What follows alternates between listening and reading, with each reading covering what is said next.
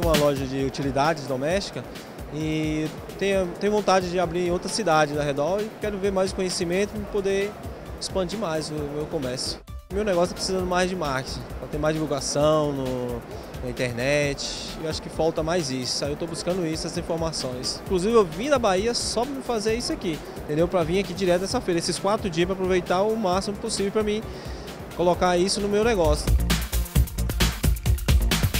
A ideia aqui é nós representarmos o atendimento de um escritório regional. Então o cliente ele chega, ele é identificado através de uma triagem, encaminhado para a nossa orientação e dependendo da necessidade dele, ele pode ser encaminhado também para um dos nossos consultores especialistas. Nós temos atendido esses dois públicos, aqueles que estão pensando em estruturar uma ideia que já tem, que muitas vezes já passaram em outro espaço e conseguiram identificar uma boa ideia de negócio, e aqueles que também já estão estabelecidos no mercado e que buscam uma orientação específica. Então nós temos consultoria na parte de marketing, de finanças, comércio exterior e todas as especialidades.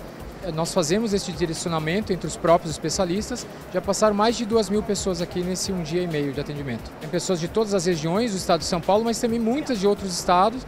É, hoje mesmo já atendemos um número bastante grande de pessoas que estão visitando a feira e aproveitando esse momento aqui para tirar as dúvidas também.